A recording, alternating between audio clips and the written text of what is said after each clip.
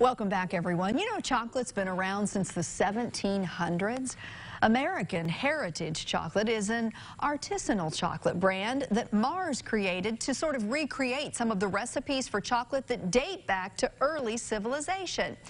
Now, David Borghesani is a chocolate historian, and he educated us about the inception of the sweet treat, said it's been around for a while, and some of our founding fathers, like George and Martha Washington, actually used to drink chocolate for breakfast.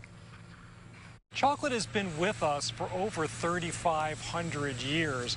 As a matter of fact, chocolate dates back to an ancient uh, tribe called the Olmecs in South America, uh, where spices were often added to flavor the chocolate. And people like the Mayans and the Aztecs continued uh, making chocolate.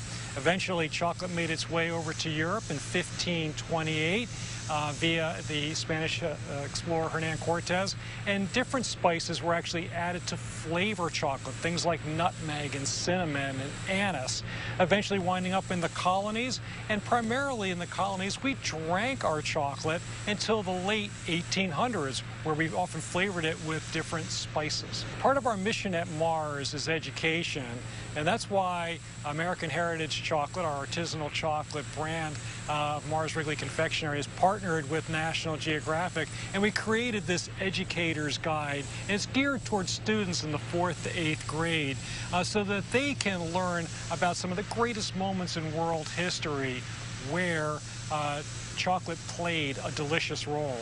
But we took it a step further. We partnered with First Book, a great nonprofit that helps to provide equal access for quality education uh, for students across America to ensure that everybody gets a chance to read uh, these great uh, stories of our civilization.